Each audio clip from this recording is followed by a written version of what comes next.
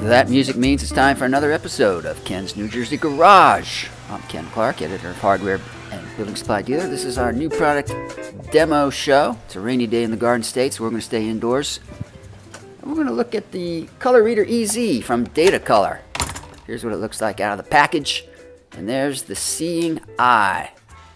It's a smart color sensor that works in concert with an app that downloads onto your phone. You just put it on any flat surface and you'll get an accurate paint color match right on your phone. It's compatible with a variety of collections at different retailers. You just pick them, push the button.